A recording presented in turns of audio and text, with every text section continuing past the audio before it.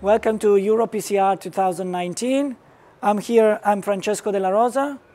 I'm interventional cardiologist in Milan, and I'm here today with Harim Büttner from Germany. And I welcome you, Harim. Thank you, Francesco.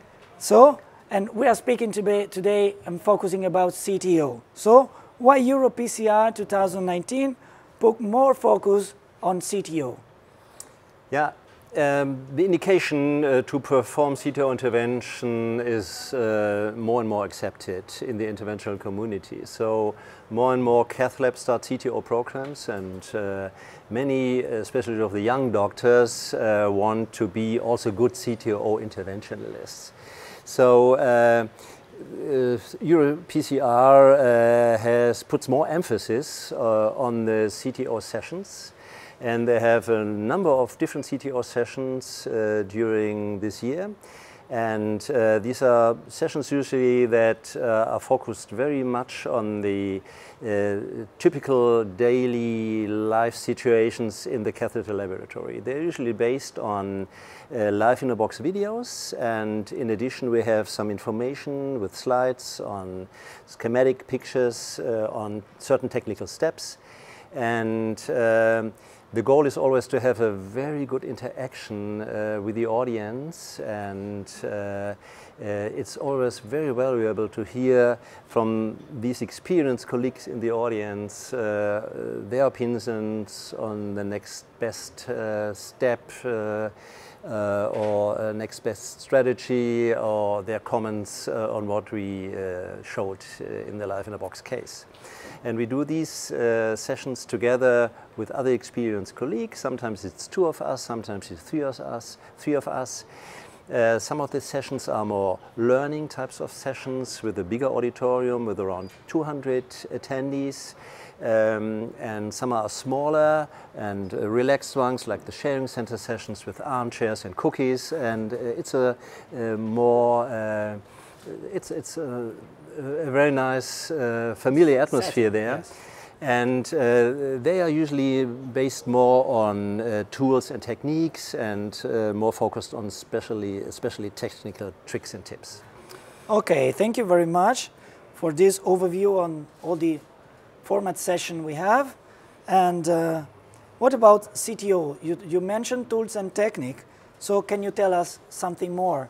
Maybe I know many people who attended session to un understand much more about antegrade approach or about retrograde approach. Can you tell us something more? Yeah. Uh, we have now fantastic material, uh, special CTO wires, uh, fantastic microcatheters. So with this material and uh, with the sophisticated, uh, established interventional techniques, now we are able to have successful interventions with successful recanalizations in almost 90% or sometimes more than 90% of the chronic total occlusions. Um, usually uh, uh, colleagues who attend these sessions have some or even uh, are more experienced with antegrade techniques. And uh, they are usually just at the transition from the antegrade to the retrograde techniques. And so most of them want to have more detailed information uh, how to use uh, the material and how, uh, which techniques are the best uh, for the retrograde interventions, for going through collaterals and for bringing the antegrade and the retrograde wire world together, all these wire connection techniques.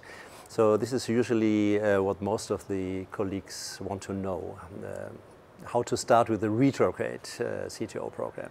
Yes, and of course how to approach a, a CTO can help them also in approaching complex stenosis, this coronary right. stenosis. This is right. Uh, when you uh, get used to the CTO material, to the special wires and uh, microcatheters, you can use that also for non-occlusive lesions. And I think a good CTO operator is always uh, a better uh, non-CTO operator as well, because he can use uh, this material especially for critical situations or for very complex lesions, uh, it will help him also uh, in cool. uh, the treatment of non-occlusive lesions. And to conclude, I know you proctored CTO programs, also in some cath lab. Can you tell us more and what you suggest to, to a younger who yeah. want to perform CTO? Uh, my privilege is to be born quite early, and so I left the regular job in my hospital now uh, two and a half years ago, and since then I do a lot of uh, CTO proctoring. It is usually so that the, uh, these colleagues uh, have a lot of experience already with antegrade cases, and when they are not successful, they send the patient away to a center and uh, they perform the intervention. And but besides uh, all these conferences and the workshops, it's, it's very, very helpful if you have somebody in your cath lab that helps you, especially when you start trying to go through collaterals or doing some uh, more uh, advanced, uh, performing some more advanced techniques. And that's what I do since uh, two and a half years, uh, proctoring as a second operator. These colleagues are usually very experienced and you just have to tell them what are the special materials, how do you use them, how do you shape the wires, when do you, should you switch to the next strategy and what is the next strategy. And so, and, and you can steer somebody through a very complex retrograde intervention uh, who never did any retrograde case before. So it, it works very nicely uh, to help uh, or to support um, the colleagues in their own cath lab and the whole team in the cath lab then realizes, oh, it works, it's worth the effort, it's worth the cost for the material. And they have in the end the feeling, I've done it myself, and they did it themselves. So it's much better than sending the patient away. But you have to have a colleague in the hospital who is experienced, who helps you, or to find a proctor who helps you. Okay, thank you very much. Thank you for watching EuroPCR 2019.